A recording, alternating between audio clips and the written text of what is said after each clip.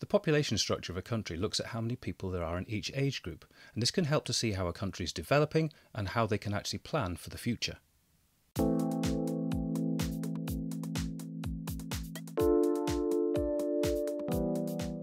Population pyramids are used to look at the structure of a country.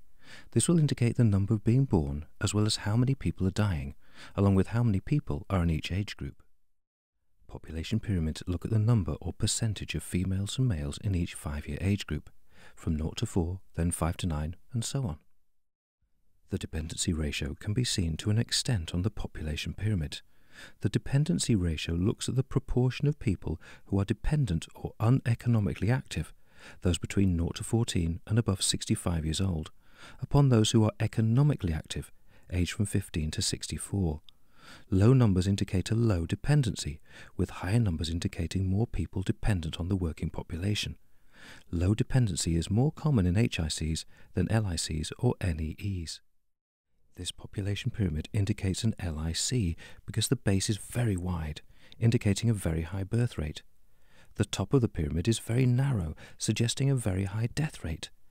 The pyramid also slopes in quickly, showing that people are dying in great numbers at each stage as they age.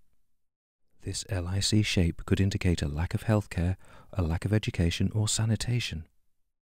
This population pyramid indicates more of an HIC because the birth rate is low, as is the death rate, with many people living into older age. This also shows a declining birth rate, with each new year having fewer people than the last. This could indicate great healthcare good diet and access to water and sanitation, as well as equality in education, where female students go on to have careers before families embark on having children. Population pyramids can also be seen in conjunction with different stages of the demographic transition.